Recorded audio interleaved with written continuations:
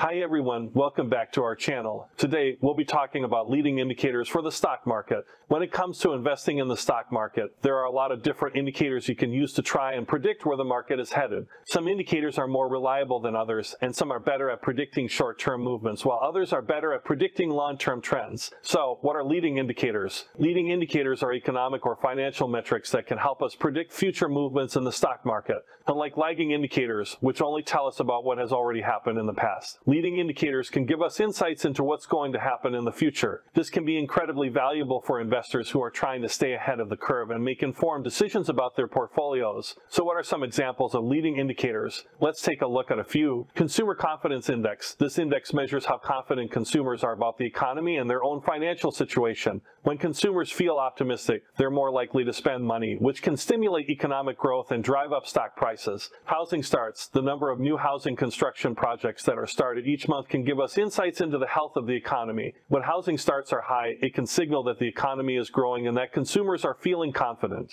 Purchasing Managers Index the PMI is a survey of manufacturing companies that measures their level of business activity. When the PMI is high, it can be a good sign for the economy as it indicates that businesses are expanding and producing more goods. Yield curve. The yield curve measures the difference between short-term and long-term interest rates. When the yield curve is steep, it can be a good sign for the economy as it indicates that investors are optimistic about the future and are willing to lend money for longer periods of time. Leading economic index the LEI is a composite index of 10 economic indicators, including some of the ones we've already mentioned. When the LEI is rising, it can be a good sign for the economy and the stock market. Leading indicators are important because they can help us stay ahead of the curve and anticipate changes in the market before they happen. By using leading indicators to inform our investment decisions, we can potentially make better returns and minimize our risk exposure. It's important to keep in mind, however, that no indicator is foolproof, and there are always risks associated with investing in the stock market. Thanks for watching, and we'll see you in the next video, so hit that subscribe button.